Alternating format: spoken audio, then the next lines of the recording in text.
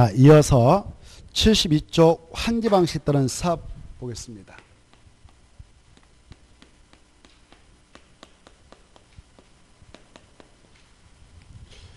환지 방식에 따른 사업을 한다. 이렇게 아까 실시계 고시 떨어지고 2인의 사업에 착수한다. 근데 그 장소와 환지 방식 장소다. 그러면 이 시행자 이렇게 사업장에 들어가서 정식으로 공사를 하려고 할 때에 미리 계획을 작성합니다. 개발해서 환지 이렇게 주겠다. 라는 환지 계획을 작성하죠. 시행자가 말이죠.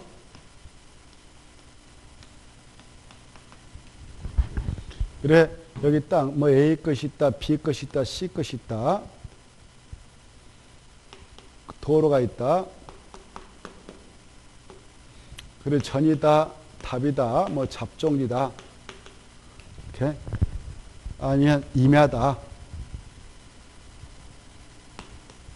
이렇게 그리고 여기 또 D 것이 있다, E 것이 있다, 뭐 이쪽에 아직 개발되지 않은 땅이 대부란 말이야. 이렇게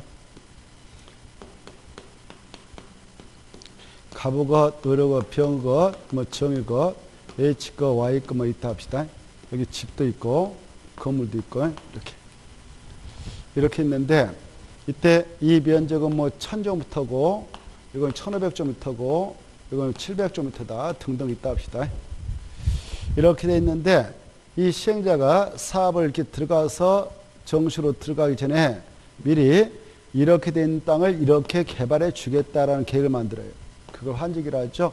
이렇게 딱 개발해서 이렇게 토지계획 정리 사업한 다음에 도로를 이렇게 넣고 이런 도로 같은 것을 공공시라고 공공시설. 공공시설의 도로는 여기다 이렇게 하고 공원은 여기다 하고 공공시설 그리고 필지를 딱딱 나누겠다 이겁니다. 이렇게 쫙 나오죠.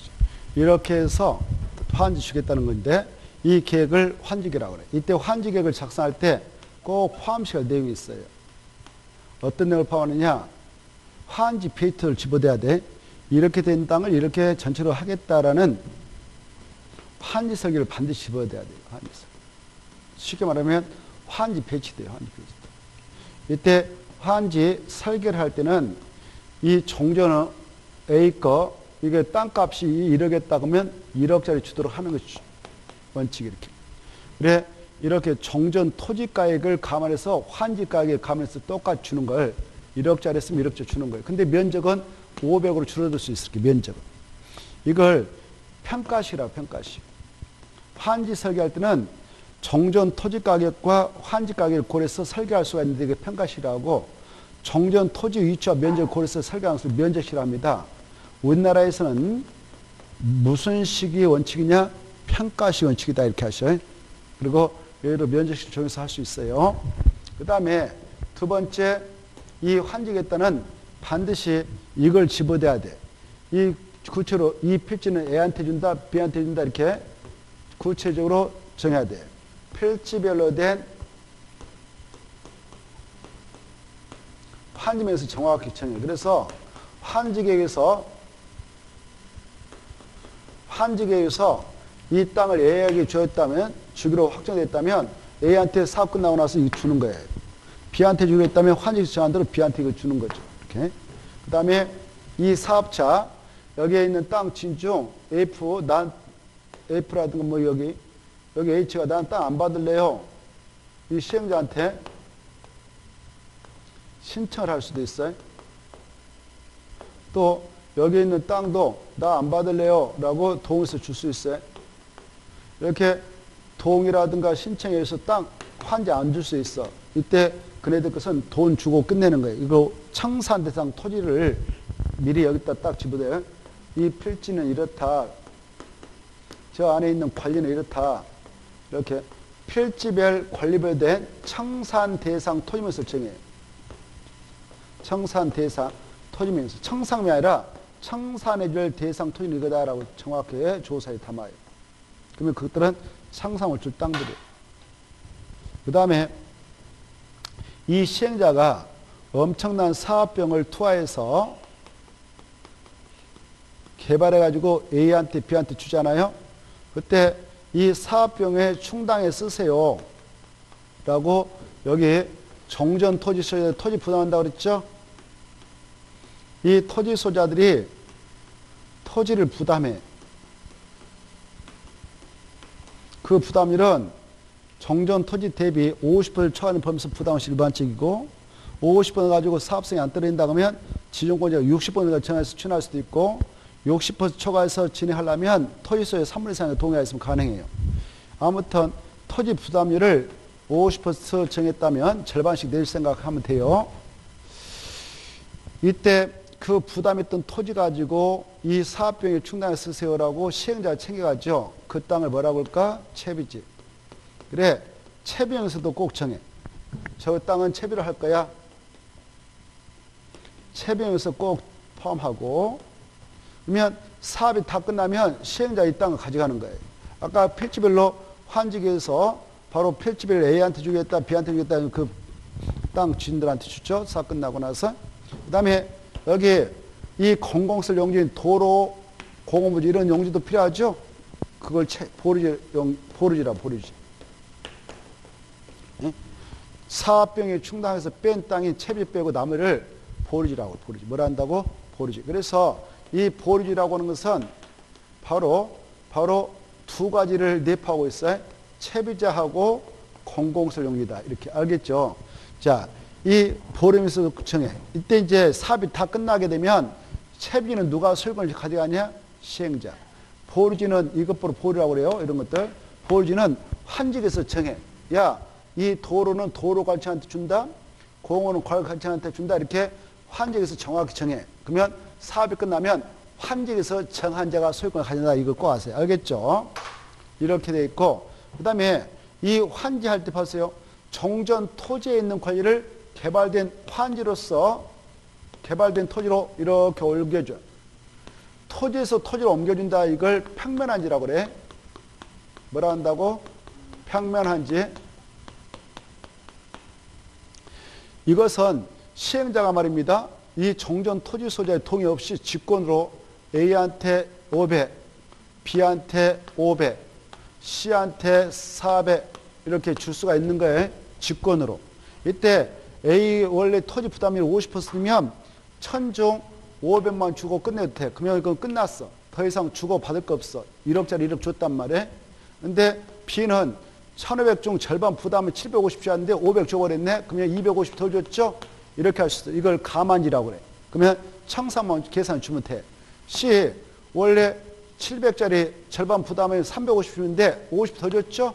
이건 증환지라고 그래. 이때 봐봐. 증환지, 감환지, 이거 적응환지 할때 시행자가 정전 토지 소자의 동의 없고 해 직권을 할까? 그래, 직권을 하는 거예요. 이렇게 할 수 있는 힘을 주고 있어, 법에서. 그런 힘을 공용환지라고 그래, 공용환지. 강조 이렇게 할 수 있어요. 그 차액은 청산으로 주고받으면 끝나는 겁니다. 그리고 여기 보니까 여기 콩 많은 땅을 저 Y라는 사람이 또 가지고 있어. 여기 Y라는 사람이 가지고 있다, 콩 많은 땅. 그러면 야, 너 토지 면적 너무 적어. 그래서 너는 돈 받고 가, 나가라 해서 직권으로, 직권으로, 직권으로 환지를, 환지를 지정하지 않을 수 있어. 이걸 환지 부정이라고 그래. 뭐라 한다고? 환지 부정도 할 수 있어요. 이때 환지 부정은 직권으로 할 수 있고 여기 봐봐요. 토지 소유가 신청을 해. 토지소가 동의서 줬어. 근데 신청과 동의하에 환지를 지정하지 않으려고 하는데 여기 임차권자 등이 있다 그러면 임차권자 권리를 위협할 수가 있으니까 야 임차권자가 있는 토지 경우는 토지 소자의 신청과 동의만 갖고 환지 부정을 결정하면 안 되고 임차권자의 동의도 꼭 있어야 된다. 이게 어마어마 중요한 거예요. 자 이렇게 해서 바로 진행합니다. 이때 정전 토지에서 환지로 권리를 옮겨주는 거 평면이라는데 토지에서 토지로 권리를 옮겨주는 것이 평면인데 이때 평면 아까 증환지, 적응한지, 감환지가 다 있을 수가 있죠. 근데 말입니다. 여기 보니까 세라는 사람이라든가 여기 의리라는 사람이 건물 가지고 있다. 또 땅을 가지고 있는 갑이 있다. 이 사람들이 환지만 받으려 가지고 건물 지으라니까 머리 아파 죽겠어. 어, 건물 지으면 정말 머리 아파는 많거든. 그래서 시행자한테 그래. 내가 정말 건물 지기 좀 힘드니까 시행자께서 덩달아 여기다 건물 구분 건축물 건축해 가지고 건축물 일부하고 토지 묶어서 좀 주세요라고 신청서를 낼 수 있어 이렇게 알겠죠? 그래 이때 신청을 해가지고 알았어 내가 건물 치고 땅까지 지분해서 만들어줄게 이걸 주는 거 뭐라고 그래? 무슨 한지라고 그래요? 입찬지 좋았어 자 뭐라고 한다고? 입체환지 뭐라고 한다고? 입체환지 입이 뭐냐면은 여기 봐봐요 입 봐봐 여기 봐봐요 입이 이 입이 아니라 한자리 세울 입이에요 세울 입. 뭐라고 한다고? 세울 입. 그래. 세우다 세울 입. 설립 세울 입이뭘 세웠어? 건축이라는 몸체를 세웠어 여기 봐봐요. 입자를 알면 돼 입자가 세울 입이요. 서울 입. 건물이란 몸체를 땅에다 써서 이 체가 뭐냐면은 건물이란 몸체 체자예요. 그래서 건물이란 몸체를 몸체를 세워가지고 땅을 바꿔줬다 이거예요. 이거 뭐라고 한다고? 입찬지. 이것도 시험에 나왔으니 알아주세요.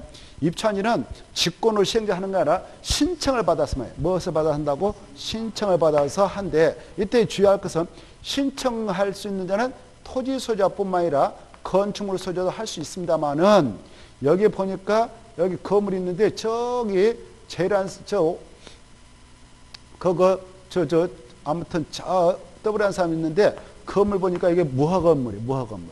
뭐라고? 무화 건물. 여기 땅은 국유지인데 국인데 무화 건물 가지고 무화 건물 소유자는 입찬지 신청할 수 있다 없다? 없다 이렇게 하셔. 알겠죠?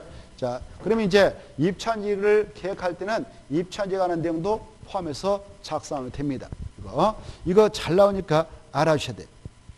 이때 여기 입찬지라는 뜻을 아셔야 돼. 입찬지는 정전토이라든가 건축물에 있는 권리를 반드시 이렇게 건축물을 구분 건축물 건축해 가지고 반드시 뭘 재가지고 구분 건축물이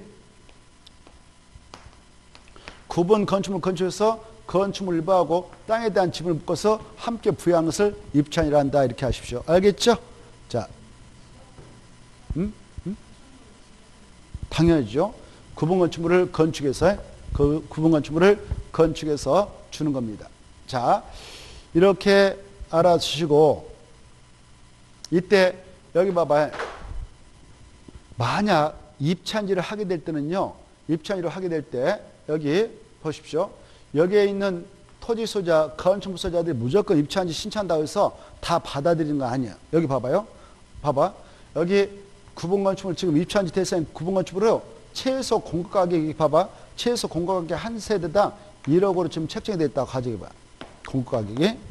근데 여기에 있는 땅, 조그마한 땅을 가지고 있는 저기 어떤 저, 어, 그 아이라는 사람이 이게 종전의 권리가격 평가해 봤더니 2천만 원밖에 안 돼. 2천만 원짜리 가진 자가 1억짜리 하나 분양받으려고 신청한다. 이거 안 받아주는 거예요. 들어봐. 이 공급하게 될 최소 공급 가격의 70% 이하짜리는 안 받아준다. 이렇게. 몇 퍼센트 이하? 70% 이하. 종전 권리가액이 정전토이라는 건축물로 권리가액이 최소 분양가격의 70% 이하밖에 안 된다. 100분의 70 이하밖에 안 된다. 100분의 70 이하밖에 안 된다. 그러면 입찰지 신청 대상에서 제외도 할 말 없다. 알겠죠? 몇 퍼센트 이하면 10%. 근데요, 여기 이제 또 중요한 거 있어. 여기 봐봐. 여기 을은 건축물하고 토지를 가지고 있는데 감자가 매가봤더니 여기 보세요. 감자가 매가봤더니 이거 콩만 해 집이. 주택인데 주택인데 콩만 해가지고 감자가 1억 1천만 원밖에 안 나왔다 가지고 천만 원. 천만 원밖에 안 나왔네. 이거 1억에 최소 공급가격이 결정 났네. 70% 이하드 이건 근데 입주한지 신청 받아줄까 안 받을까? 주택은 받아주 주택은 이게 중요해. 그자의 주관을 통해서 야 주택 가지고 계신 분은 주택 있는 토지를 가지고 계신 분은 그자의 정전의 권리가격이 이것서 최소 공급가격의 70% 이하도 받아줘라. 그래야 주관을 도매해줄 수 있는 것이다. 이렇게. 무엇을 가지고 있다면 무조건 받아준다고요? 주택. 이게 아주 중요하단 말이에요. 알겠죠? 주택이 있는 토지 소재는 종전의 권리가격이 얼마가 됐든 신청하면 받아줘라라고 해서 그자의 주관형을 보여주고 있다. 이거 알아주십시오. 자, 그 다음에 봐보세요. 여러분, 여기 입찰지 신청을 했던 친구들, 거기에 종전토지에 저당권이 설정돼 있었어. 근데 입찰지 받아가지고 이거 받아갔다? 이거 받아갈 때 소유권 언제 취하냐면 다 중검사 끝나고 바로 60인의 환지에서 정한 대로 환침을 해서 줍니다. 시행자가. 그리고 공고하죠. 공고 오늘 했다면 다음 날이면 환지단 소유권 취득하죠. 이때 입천지를 저 받아갔던 친구들도 입천지 대상 건축물 일부인 구분 소유권하고 땅에 대한 공유분을 이때 취득하는 거예요. 이때. 이때 그래. 이때 취득하니까 이때 정전 토지에 설정된 저당권도 이날에 딱 입천지 대상으로 이전돼서 전장고 관장 따라온다. 여기까지를 알아주시면 좋겠습니다.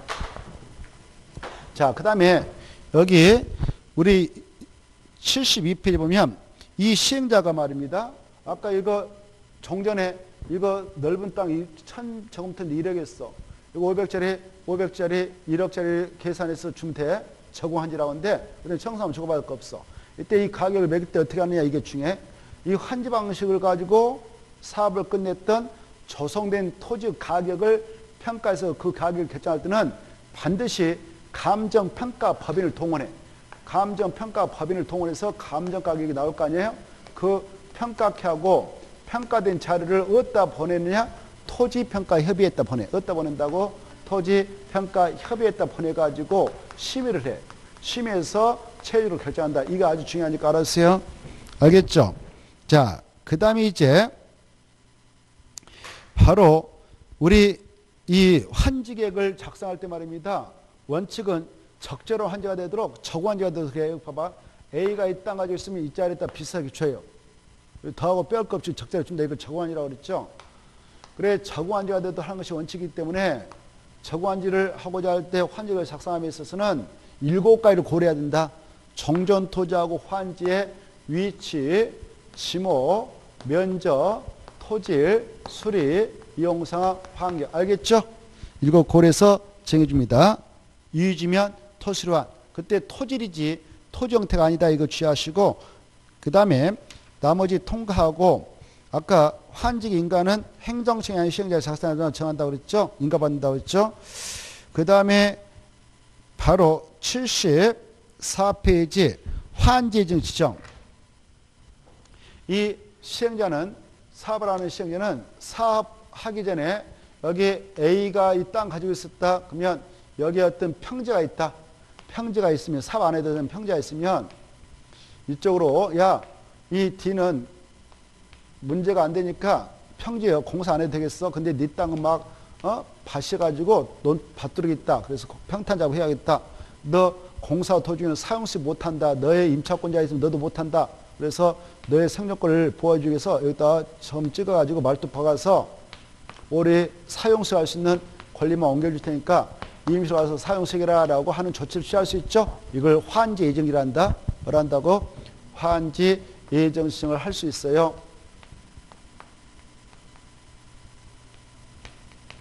환지 예정지를 꼭 시행자가 정할 필요는 없고 지정할 수 있다. 임의적이다. 만약 지정을 하게 될 때 정전토지 임차권 제품이 있다면 그것도 환지 예정도 꼭 지정해 줘야 한다. 이렇게 환지 예정 지정이 있으면 효과. 바로 정전 토지에 있는 사용수권만 환지 예정으로 이정돼서 이 A하고 A의 임차권자는 환지 예정지로 지정된 이 땅에 가서 사용수만 하면 된다. 그 대신 정전 토지에 대해서는 사용수 못한다. 정전 토지에 대한 소유권과 처분 그대로 가지고 있다. 환지 예정지에 대하여 소유권을 A가 새로 취득한 것은 절대 아니다. 소유권 이전과 변경은 없다. 이게 중요해. 알겠죠? 무엇은 없다고? 오, 좋아, 좋아. 그게 핵심이에요. 그래서 이 땅은 바로 D끝 땅이지 A가 새롭게 소유권 취득은 아니다. 그러면 A하고 A의 임차권자 이게 D의 땅에 와서 사용수익 할수 있는 기간은 시행자가 알려주거든. 야, 언제부터 사용수익 해라 라고 효율의 발생을 알려주는데 그날부터 환침 공고일까지만 임시로 사용수익 할수 있고 그 장소에 사용 수익 할 수 있는 그런 장애물이 있다면 사용 수익 할 수 있는 시작을 하는 날을 따로 알려주는데 그날부터 환침 공고일까지만 사용 수익 할 수 있도록 하는 것이 환지 예정 지정이다. 환지 예정 지정이 있으면 정전 토지에서 환지 예정으로 절대 소유권 이전 변경 발생하지 않는다. 이걸 꼭 아시고 이때 환지 예정을 지정하게 되는 시행자는요. 자기 몫으로 이렇게 미리 환지 예정 지정할 때 이건 채비 정도야 라고 지정할 수 있다. 이게 중에 예정 지정할 때 채비 정도로 지정할 수 있어. 환지 예정으로 지정할 때 채비 정도 지정했다면 시행자는 이 토지에 대하여 사업 도중에 사용도 할 수 있고 수익도 할 수 있고 처분할 수 있다 없다 있다 이게 중요해. 그래 사용도 수익도 할 수 있기 때문에 중검사 전에도 중검사 전에도 또 이 지정권자한테 가서 사용 허가를 받지 않고도 사용 수익도 할 수 있고 처분까지도 할 수 있다. 이 처분은 환지 예정지 지정 후에 팔아먹을 수 있다. 이거 여러분이 만약 이때 팔았다 시행자 여러분 샀다 그러면 여러분이 매입자가 되는데 매입한 자는 언제 소유권 취하냐? 여러분으로 소유권 이득을 받지 되다. 만약 안 팔아먹다 그러면 시행자는 이 채비자는 소유권을 언제 취하냐? 환치문 공고일 다음날 취한다. 여기까지 중요합니다. 됐죠? 그러면 이제 중요한 거 정리했고 그 다음에 이제 사업 진행해서 끝냈다. 75페이지 그러면 이제 이렇게 다 꽁콩사 끝났다면 중검사다 지정을 그리고 며칠에 환치문 해준다고 60일 지정권자 지가 시행자면 바로 공사하려 공고하고 나서 바로 60일에 환치문 공고하죠. 환치문 할땐 반드시 무슨 계획도 봐야 되냐? 환직에서 정한 대로 토지 소적에 통제하고 모두 사면하도록 공고하면 끝이다. 오늘 환청 공고했다면 언제 혈발사냐? 다음날. 그래서 환직에서 정해지는 환지는 언제 정돈처로 간주해서 설구치 하냐? 환침 공고일 다음날에. 그때 정전 토지에 있는 권리가 유지로 다 이전 등식 원칙이지만 다만 두 가지는 못 따온다. 정전 토지의 행정상 재판상 처분으로서 전속하는 것. 정전 토지의 행정상 재판상 처분으로서 전속하는 것은 절대 환치문에 영향을 미치지 못하기 때문에 그 자리에 있지 환율이 유지되지 않는다. 그리고 행사할 이익이 있는 지역권도 그 자리에 있지 환율이 유지되지 않는다. 다만 도시발사업 시행으로 인하여 행사할 이익이 없어진 지역권은 소멸된다. 언제 소멸되냐? 환치문 공고일이 끝난 때지 다음 날이 끝난 때가 아니다. 다음 날은 깨끗한 환지에 대한 소유권을 취득해야 되니까 바로 다음 날이 아니라 환치문 공고일이 끝나는 때 그때 다 소멸된다. 그 다음 날은 깨끗한 환지에 대한 소유권을 취득해 가도록 하기 위함이다. 알겠죠? 이게 중요합니다. 그 다음에 자 바로 아까 다 했으니까 중요한 것은 채비는 누가 가져간다고? 그래 보르지는 환직이 승한 자가. 그래 그래. 그게 나였죠? 그게 중요합니다. 자 그 다음에 이제 이제 환지 처분 할 때 봐봐. 이때 환처분 할 때 환처분 할 때 어떤 자는 저거 환지 그래서 청삼 주고받을 일이 없어?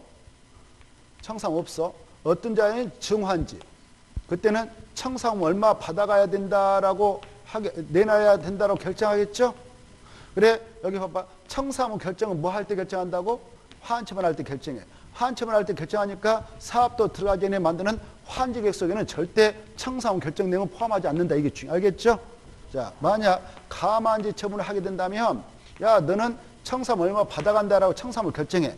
자 이렇게 청사무 결정은 환처분 할 때 결정합니다. 근데 아까 환지를 지정하지 않기로 되 있는 환지 부정 토지소에게는 환첨을 안 하잖아요. 그러면 환첨은 전에도 그네들에게는 청삼 교부할 때 결정해 줄 수 있다 이렇게 하세요. 알겠죠? 자, 그 다음에 이제 환처분 공고가 있는 날 다음 날에 청삼 확정돼. 언제 확정된다고? 환처분 공고일 다음 날에 청삼 확정돼. 확정되면 이때 일괄 징수, 일괄 지급합니다. 그러나 외적으로 보세요. 이때 환처분 공고 후가 아니라 환처분에도 미리 청삼을 지급할 수 있다 없다 교부할 수 있죠? 환지를 정하지 않기로 되어 있는 토지소에게는. 그 다음에 이 확정된 청상금은 환처분 공고 후 일괄 징수 일괄 지급인데 외해주로 이자를 붙여서 분할 징수 분할 교부할 수 있다 없다? 있다. 이게 중요해. 아주 중요하고 이 청산은 몇 년 동안 권리 행사가 이루어지는 시효로 소멸되는가? 5년. 여기까지 알아주시면 끝입니다. 자 그러면 다 나름대로 끝났고 그 다음에 이제 봐봐 이때 환처분 공고하고 나서 시행자가 또 할 일이 있어 등기 뭐 해준다고요 등기. 이 환지에 대한 등기를 누가 해줘요? 시행자 해줘요. 그렇죠. 며칠 해줘야 될까? 14일. 이때 시행자가 행정체면 촉탁, 비행정체면 등기를 촉탁이 아니라 신청을 통해서 해주죠. 그때 이 환청 공고하고 나서 그 14일 이내에 등기 들어갈 때까지는 원래 다른 등기는 안 된다. 그런데 이 환청 공고 전에 확정일자 있는 서류하여 등기 원인이 생명실 증명했다. 이 안에도요, 여러분이 저 땅을 마음대로 소지하면 팔고 나갈 수 있어. 근데 계약서 쓰고 등기를 갖고 라는 때 해주면 되는데 안 했어. 매수인이 바빠가지고 안 했어. 그러면 확정일자 있는 서류로 가서 공정받아가지고 언제 우리가 매매계약 체했습니다. 이런 매매계약서 같은 것이 증여계약서 같은 것이 등기 원인을 증명하는 서류라고 그래. 그런 서면을 확정일자에 의해서 받아놨는데 이 이전에 받아놨으면 그 친구는 이 사이에 와서 내 거 등기 좀 해주세요. 내가 원래 이 땅 샀습니다. 왜 알았어? 그럼 등기해주고 네가 환지 받아 이렇게 하는 거예요. 승계치들이 알겠죠? 그래 환점 공고 전에 등기 원인이 생긴 것임을 증명했다면 그 등기는 바로 이 사이에 해줄 수 있다 없다? 있다. 이거 받으시면 됩니다. 여기까지 해서 마무리 짓겠습니다. 도시갈 법은 이 정도면 훌륭해요. 하나만 딱 여기 들어보셔요. 이 도시발구역 안에 도로 설치 문제, 그 다음에 상하수 설치 문제, 이 설치와 비용은 바로 지자체에서 해줘요. 누가 한다고? 지자체. 그리고 전기, 가스, 지역 난방 통신 그걸 공부하는 한전, 한국가스공사, 지역 난방공사, 통신사 해주거든. 그 비용도 그 자리 부담해요. 그런데 여기에서 이제 중요한 것은 여기 사업을 하고 있는 시행자가 전선을 공부하는 전기를 공부하는 한전에다가 땅 위에다 전부터 세워서 공부하면 지- 미관을 제하니까 땅 속에다 좀 해주세요라고 지중선로를 설치할 수 지중선로를 설치해달라고 요청할 수 있어. 뭐를? 지중선로. 그러면 지중선로 하면 돈이 많이 들어갈 거 아니에요? 그때 그 돈은 이 요청했던 시행자가 2분의 1, 그리고 한전에서 2분을 내야 돼. 근데 이제 이것이 문제가 아니라 이건 수용 방식일 때 그래. 무슨 방식? 수용 방식, 혼용 방식. 근데 이 전부를 환지 방식으로 했어. 무슨 방식으로 했다고? 그래, 그래. 전부 환지 방식으로 하면 주로 조합 같은 시행자가 해서 조합원들이 이게 공공세 용지 내고 그러거든. 그래서 부담이 너무 컸어. 그래서 우리 법사, 야, 전부 환지 방식으로 사업을 했던 이 사업장에서 시행자가 지중선로를 한전한테 요청했다면 요청했던 시행자가 2분의 1 낼 게 아니라 너는 3분만 내고 한전에서 3분의 1 내라 이렇게 하고 있습니다. 이해되죠? 무슨 방식일 때? 아니 여기 그래 그래 이게 중요해. 전부 환지 방식일 때는 요청했던 시행자 얼마 낸다? 3분의 1. 공급자가 얼마 낸다? 3분의 1. 오체 이게 키포인트 알겠죠? 이거 꼭 알아주시면 좋겠어. 자 오늘은 어, 요청 안 하고 땅 위에 할 때는 한전에서 다 내야 되고 지중 선로를 요청할 때 수용 방식이다 그러면 절반씩.